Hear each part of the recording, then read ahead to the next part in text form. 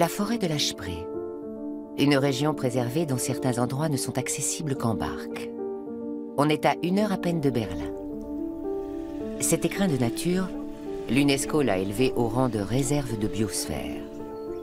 La forêt tient son nom de l'Achepré, une rivière aux innombrables bras secondaires. Le poète allemand du 19e, Théodore Fontane, en a célébré le charme dans ses écrits.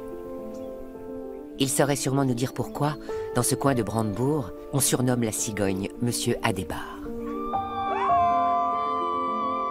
La forêt de l'Achepré est la patrie des Sorabes et des Vénèdes, des peuples qui mettent un point d'honneur à entretenir leurs traditions. Ici, chaque saison a quelque chose de magique.